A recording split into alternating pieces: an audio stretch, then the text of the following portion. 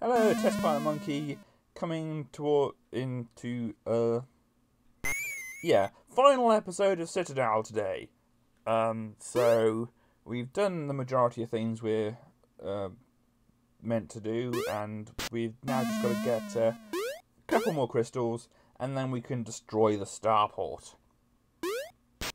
Sorry to spoil the ending, but uh, I kind of did that in the first video by reading out the actual plot that we were supposed to destroy the starport. Um, it would be a pretty bad plot for a game if that was our intention and we actually never ended up doing it, wouldn't it?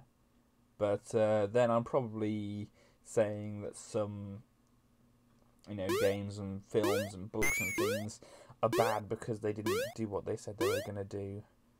When there's probably like a twist ending or something that I don't know. I can't think of a particular uh, thing at the moment which that would apply to, but uh, I'm not extremely well read.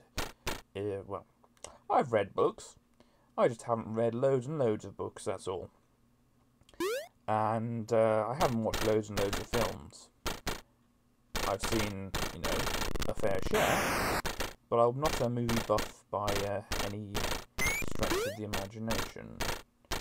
And I haven't played every single game ever either, so uh, I can't really compare things. Anyway, this is where we want to use the head thing.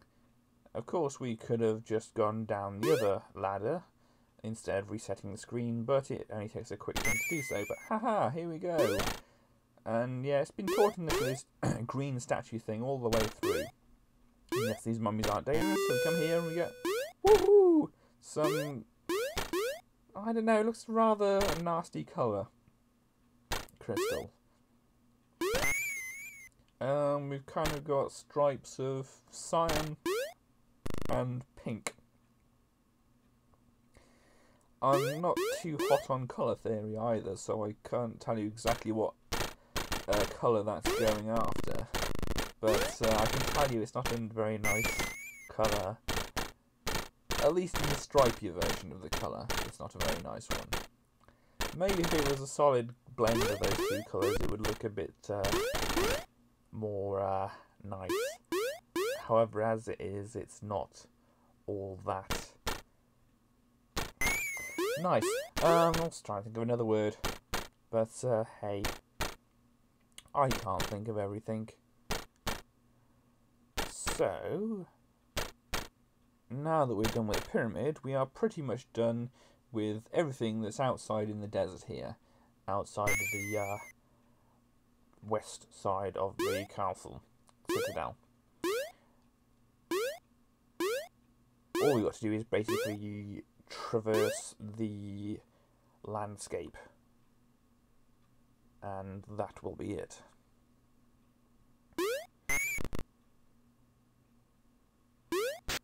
Kill a few monks. Yes, yes, yes. The, the operative word here is kill, which you've done there. Very, very well done. I'm not quite sure what this uh, podium is supposed to actually look like, whether it's supposed to be some kind of abstract thing or whether it's supposed to actually be some kind of real physical object. Or whether the person who's making the game just put some random numbers into their uh, map and saw, oh hey, that looks interesting, I'll keep that. Because you can understand that kind of thing as a guard tower and everything else is kind of a, a structure to it. Some of the other ones stand on things that look like bandstands, I suppose, and uh, though uh, that, that that one podium thing is a bit abstract.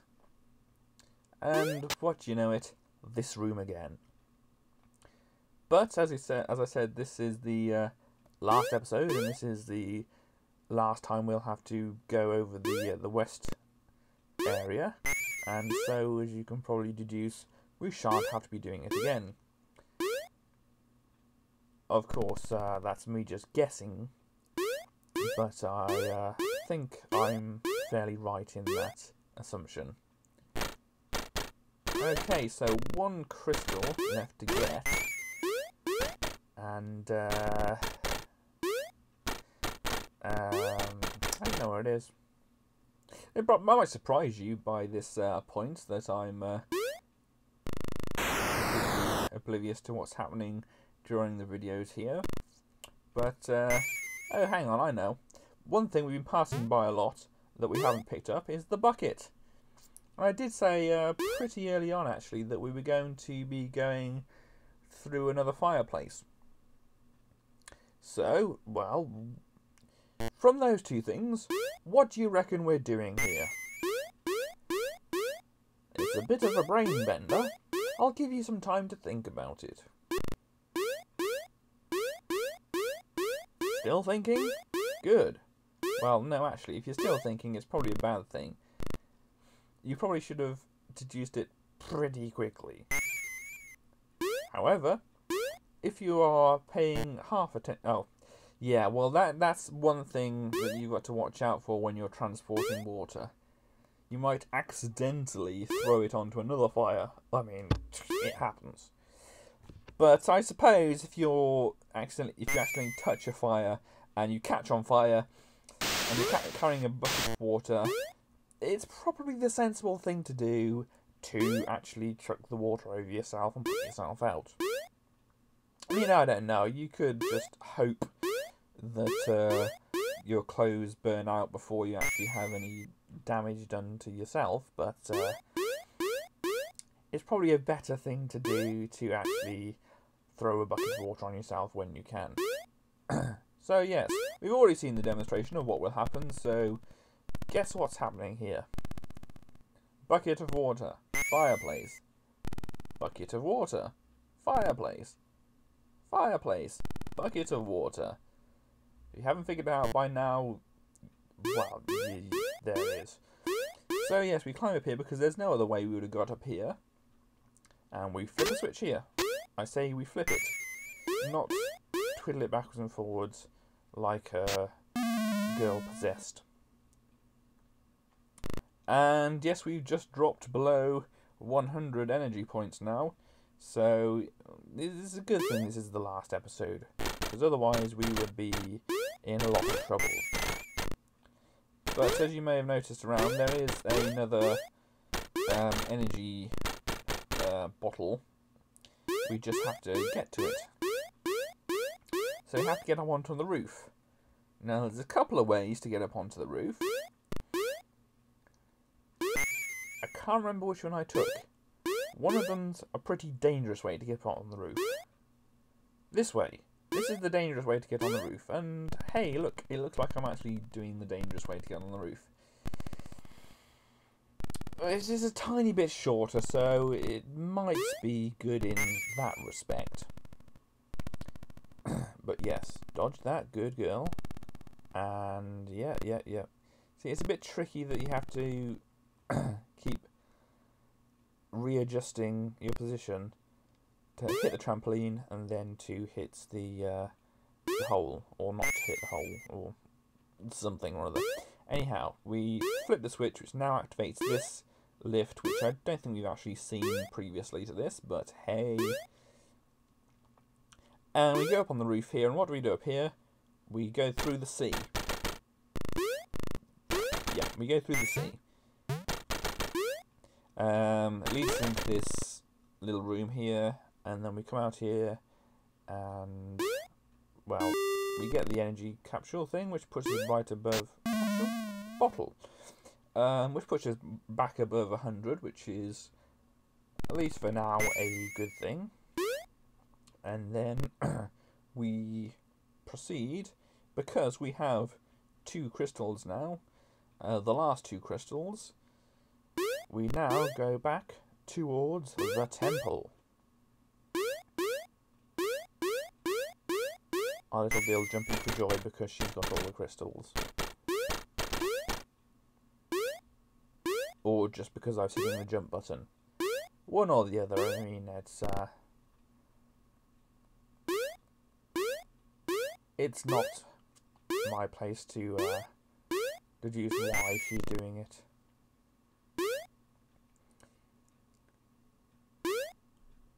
I certainly don't want to explain her actions for her. Anyhow, back to the beach. It doesn't really look much of a beach. It more, more, more looks grassy, doesn't it? Perhaps it's a kind of half grass, half beach thing. And you can see I'm taking an express route over the water here. And yes, that does uh, lose quite a uh, bit of uh, energy there. And I did forget to pay attention this time as well, so... Yeah.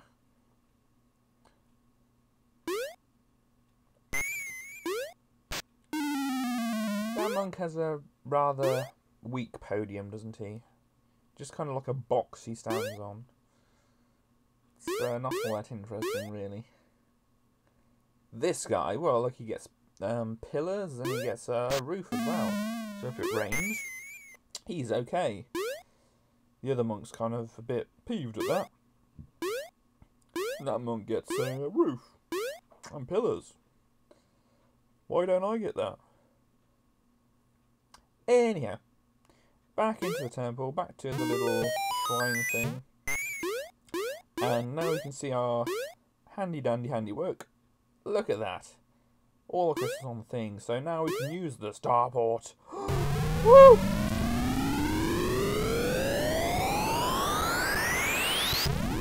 And that scared the heck out of me when I was younger. I actually was afraid to do that. I had to get somebody else to do it for me because I thought, strangely enough, that I would teleport somewhere else if I used that teleporter. I was a strange kid. Little has changed. And yeah, this is a rather dangerous platforming segment. But now we're on the planet of Cawdor, was it? I can't remember. But it's Marduk's planet. And uh, we can see we have the little uh, satellite dish which connects to the satellite dish on our planet and uh, beams all the uh, matter back and forth of course, what we want to do is try and destroy the starport because, as it said, Marduk is sending his army to send through it. So yeah, that's the uh, cowardly way to escape there. It's a, a good tactic, really. And yeah, this this room is very, very dangerous, especially if you don't jump. See, there's a lot of pig heads just sitting around. These are possibly dead pig heads, you see they're not moving. And, uh, yeah, I'm not learning my lesson there at all. And I've got 38 health, 37 health. Fortunately, these are the last rooms that we have to go into. Because otherwise, I would be in very, very deep trouble. 25, 23, and uh, 21. And we open the door, and what do we see? It's the um, shrine with the jeweled figurine, and what's past it? There's Marduk's army, preparing to go through the um, teleporter. And yes, you can't walk through them, obviously they'll hit you. so that's what we're stopping. We're grabbing the jeweled figurine to stop Marduk's army just and don't run into the pig heads, it's a ha ha ha pig headed thing to do.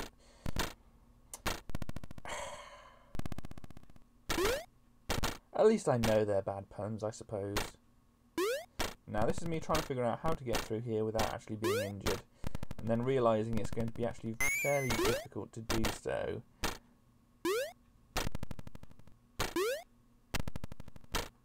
And promptly giving up. But actually, no, I actually uh, did a uh, good job there, I think.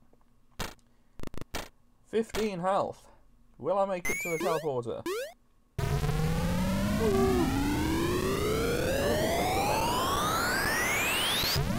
And you get even a better special effect here. This scared the living everything out of me.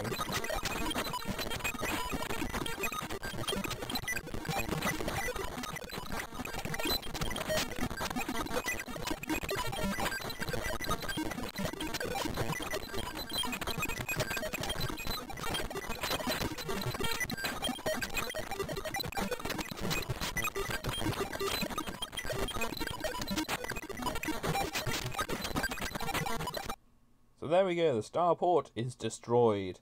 Well done. Round of applause.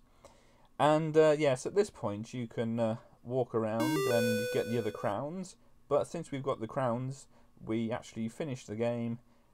And incredible! You are now ruler of Citadel. I always wanted to be ruler of Citadel. But I didn't think that was the actual point of the thing. I thought the actual point of the whole thing was to stop Marduk from overtaking the thing not becoming the ruler. Anyhow, we are ruler of Citadel, and we are very happy about being ruler of Citadel. Thank you very much. This is Test Monkey. I shall see you next game.